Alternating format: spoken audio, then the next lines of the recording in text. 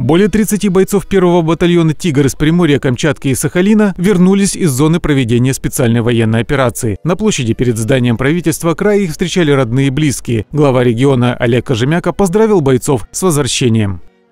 Вы выдержали весь тот накал, который был со стороны противника. Никто из вас не оставил раненых и погибших товарищей.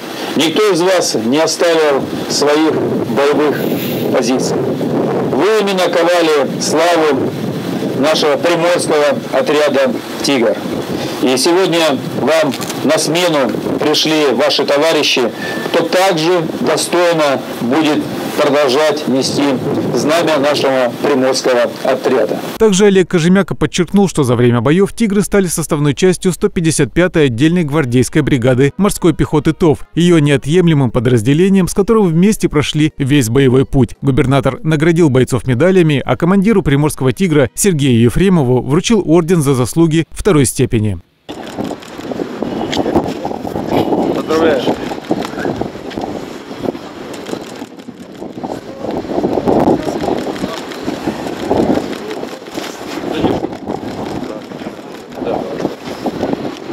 Служу Отечеству. Делясь впечатлениями, близкие добровольцев сказали, что гордятся своими мужчинами. Артем Белов, Анна Дьякова, Новости на восьмом.